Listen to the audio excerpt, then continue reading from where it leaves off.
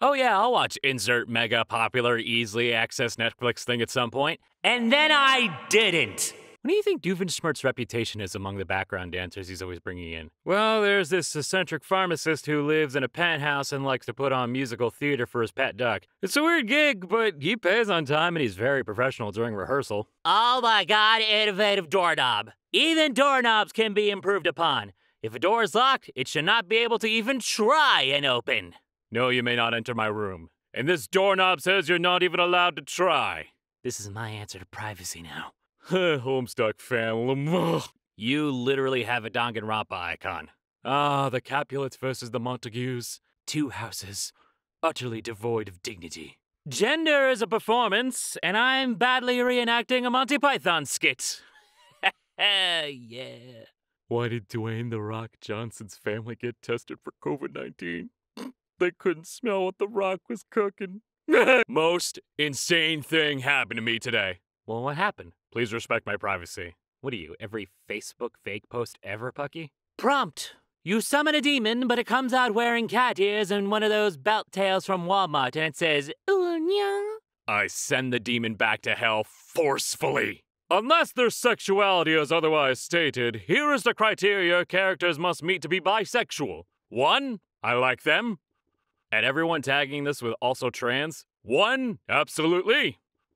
Meanwhile, at Tumblr, be a functioning website. Be a functioning website. Just. you can carbon date this post by its shade of blue.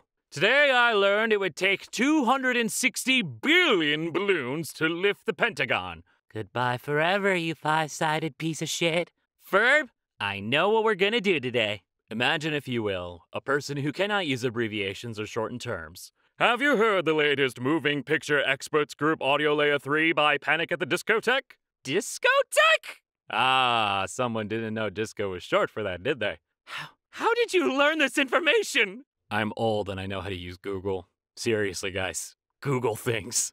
Okay, but notice sadness is in charge in the mother's mind, and anger leads in the father's mind. Perhaps her mother is prone to depression and her father has anger issues. Perhaps they too learned how to deal with their problems. Imagine using this cartoon to explain mental illnesses to children, teens, and even adults. Hi, I work at a mental health clinic, and we have already started using this movie to help kids identify feelings and work on controlling them. We have action figures so that nonverbal kids can still show us what feelings they're having. This movie really is revolutionary for mental health services everywhere. This makes me so happy. I hate being neurodivergent sometimes because someone will be like, hey, check out this piece of media. And I'm like, I would love to. Unfortunately, if I do, I will probably become hyperfixated on it and lose my current hyperfixation. And I don't want to do that because I love my current hyperfixation.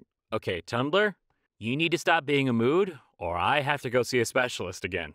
So glad we as a culture got over ironically liking Shrek as a meme and went back to liking Shrek as a good movie. Studies show that documentaries are now more popular than ever. I don't give a fuck. I'm watching Shrek. You better be having a good day, clown. You absolute moron. You better be taking care of yourself, fool. Absolute imbecile. Better know people that are here to support you. Better be eating at least two meals a day and getting a healthy amount of sleep, dumbass.